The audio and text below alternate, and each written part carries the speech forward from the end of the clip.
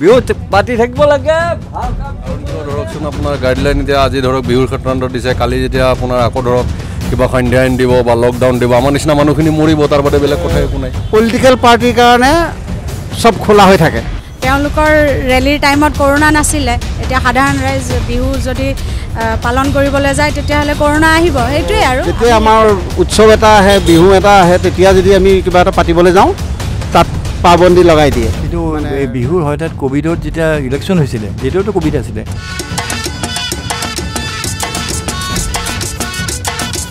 পদূলিমুখত হেঁপাহৰ ৰঙালী বিহু।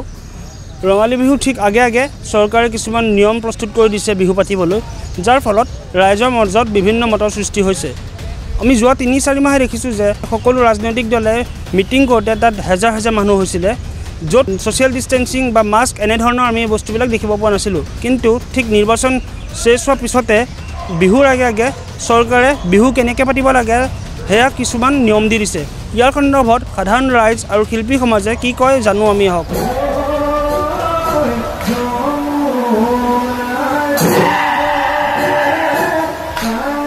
আপোনালোক বিহু পাতিবলৈ সাজু হৈছে। যোৱাবাৰ যিহেতু ক'ভিড নাইণ্টিনৰ ফলত বিহু হোৱা নাছিলে। হয় এইবাৰ আমি আমাৰ সম্পূৰ্ণ পূৰ্ণ উদ্যমেৰে আমি পূৰ্ণ গতিত আমি আগবাঢ়িছোঁ। আৰু চৈধ্য তাৰিখৰ পৰা সোতৰ এপ্ৰিললৈকে আমি পূব গুৱাহাটী বিহু সন্মিলনে সন্মিলনৰ ষাঠি সংখ্যক ৰঙালী বিহু উৎসৱ আমি অনুষ্ঠিত কৰিম।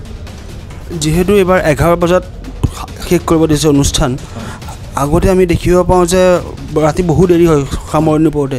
চাওক গোটেই কথাটো কেনেকুৱা যে আমাৰ আমি দেখি আহিছোঁ আহ, গুৱাহাটীত বিশেষকৈ বিহু সন্মিলনীসমূহে তেখেতসকলে দুগৰাকীকে মুখ্য শিল্পী পৰিৱেশন কৰিবলৈ আমন্ত্ৰণ জনায়।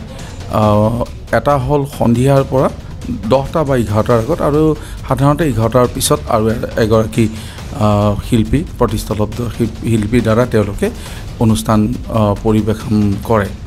গতিকে এতিয়া কথাটো হৈছে চৰকাৰে যেতিয়া এঘাৰটাৰ সময় বান্ধি দিছে। বান্ধি দিওঁতে যথেষ্ট সংখ্যক শিল্পীৰ পৰা আমি দেখিছোঁ যে তেওঁলোকৰ বহু কেইগৰাকীৰ কিছু মঞ্চ য'ত তেওঁলোকৰ এগ্ৰিমেণ্ট হৈছিলে। এগ্ৰিমেণ্টবোৰ তেওঁলোকৰ এতিয়া কমিটিবিলাকে হয়তো ৰিজেক্ট কৰি দিছে বা তেওঁলোকৰ লগত কথা পাতিছে যে আমি নোৱাৰিম কৰিব। গতিকে যিখিনি শিল্পী সমাজৰ লগত জড়িত সেয়া বাদ্যযন্ত্ৰীসকলেই হওক বা গায়ক গায়িকাসকলেই হওক সকলোৱে কিন্তু এই ক্ষেত্ৰটোত যথেষ্ট পৰিমাণে তেওঁলোকে অসুবিধা অনুভৱ কৰিব। লগতে গোটেই বছৰটোত এইটোৱে শিল্পীসকলৰ এটা উৎস আৰ্থিক দিশত তেওঁলোকে এটা টকা ইনকাম কৰাত। তেওঁ এই এইটোৱেই যিহেতু উৎস গতিকে এই উৎসটোতেই আমাৰ এইটো আমাৰ জাতীয় উৎসৱ আৰু আমাৰ ইয়াতে সকলোৱে এই বিহুটোলৈ ৰৈ থাকে।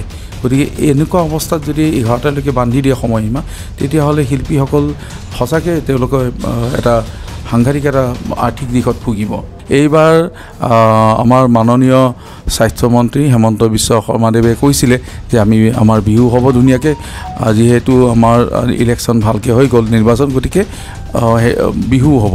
এঘাৰটা বজাৰ লগে লগে চৰকাৰে যিহেতু সময় বান্ধি দিছে গতিকে ইয়াত শিল্পীসকলৰ লগতে উদ্যোক্তাসকলৰো আমাৰ কিছু অসুবিধা আহি পৰিছে।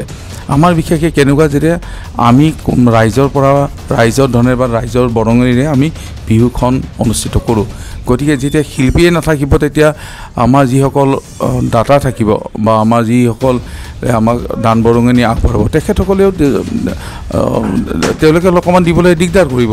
এইমাত্ৰ ফোন এটা আহিছিলে কমিটি মানে কমিটিবিলাকে থানাৰ পৰা পাৰ্মিশ্যন ল'ব লাগে।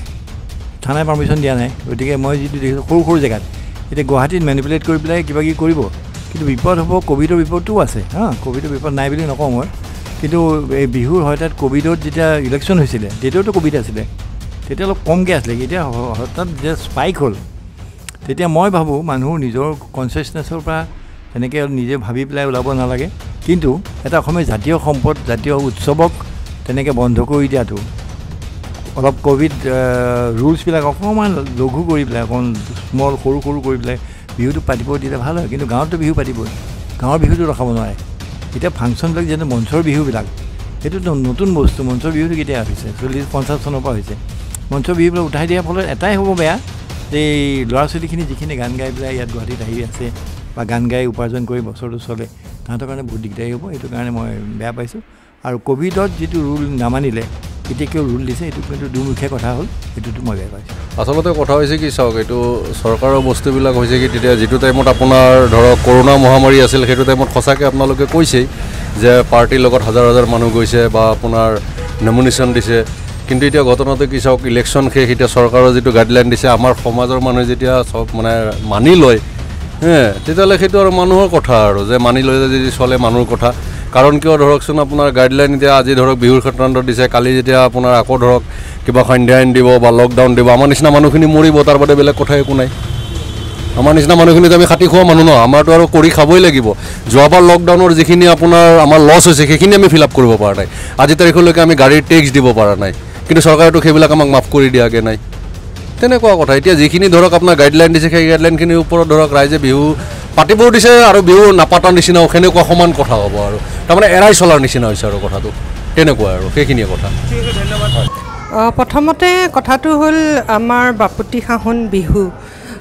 বিহুটো আমি আচলতে খুব উলহ মালহেৰে ভালদৰে পাতিব পাৰিলে ভাল কৰে আগৰ নিচিনাকৈ গীত গাব পৰাহেঁতেন নিশ্চয় ভাল লাগিল হয়। কিন্তু চৰকাৰে যিটো দিছে নিশ্চয় কিবা এটা ভাবি পেলাই চৰকাৰৰ নিৰ্দেশ দিছে আৰু এই ক্ষেত্ৰত আমি চৰকাৰৰ নিৰ্দেশ আজি ইমান দিন ধৰি মানি চলি আছোঁ। গতিকে তেওঁলোকৰ নিৰ্দেশ অমান্য কৰাৰ কোনো কথা নাই। গতিকে বিহু কমিটিসমূহ সমূহে যিদৰে উদ্যোক্তাসকলে যিদৰে লৈছে হাতত বহুকেইখন বিহু কমিটিয়ে দেখিছোঁ তেওঁলোকে কৈছে আমি যিমান দূৰ পাৰোঁ চৰকাৰৰ নীতি নিয়মসমূহ মানিবলৈ চেষ্টা কৰিম। এঘাৰ বজাৰ আগতেই প্ৰগ্ৰেমসমূহ শেষ কৰিবলৈ চেষ্টা কৰিম বুলি কৈছে। আৰু আমাৰো সেইমতে তেনেদৰেই আমি কথা পাতিছোঁ। আৰু আমাৰ সাধাৰণতে প্ৰগ্ৰেমবোৰ সদায় নটা দহটা এনেকুৱা সোনকালে হয়। আৰু বহু ক্ষেত্ৰত দেখি দেখোঁ আগতে কিছুমান বিহু বহু দেৰিলৈকে চলি থাকে। আৰু কিছুমান বিহু কিন্তু সোনকালেই শেষ হয়। মই যিহেতু লতাশিলৰ সেই অঞ্চলটোত থাকোঁ আমাৰ লতাশিলৰ বিহুখন প্ৰায়ে এটা বজাত শেষ হয় তেনেকুৱা। পলিটিকেল পাৰ্টিৰ কাৰণে চব খোলা হৈ থাকে। আৰু যেতিয়া আমাৰ উৎসৱ এটা আহে বিহু এটা আহে তেতিয়া যদি আমি কিবা এটা পাতিবলৈ যাওঁ তাত পাবন্দী লগাই দিয়ে। মানে ৰেষ্ট্ৰিকশ্যন আহি যায়। ঠিক তেনেকুৱাকৈ আমাৰ বিহুটো তেনেকুৱা বস্তু নহয়তো। বিহুটো হৈছে মানুহে মন প্ৰাণ ঢালি খোলাকৈ বহাগৰ বিহু পাতে। গতিকে মানুহক সেই সুবিধাটো দিব লাগে একচুৱেলি ভোটৰ আগদিনালৈকে মানুহে কি কৰিলে? গোটেই একদম হোলীত কি কৰিলে? ফাঁচী বজাৰ হোলী লাখ লাখ মানুহ গোট খাই গ'ল। তাত তাত কৰোণা নাছিল নেকি? কৰোণা তাতো আছিলে। ভোটৰ ৰোড শ্ব'ত কি কৰিলে? ৰোড শ্ব'ততো ইমান মানুহ। কাৰো মুখত মাস্ক নাই। সেই তাৰ পৰাইতো স্প্ৰেড কৰিছে মই নিশ্চয়।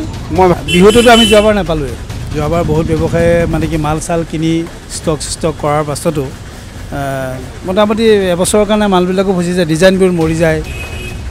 আমিতো বিহুটোতে ধৰা আমি বছৰেকত দুটাই পাওঁ বিহু আৰু পূজা।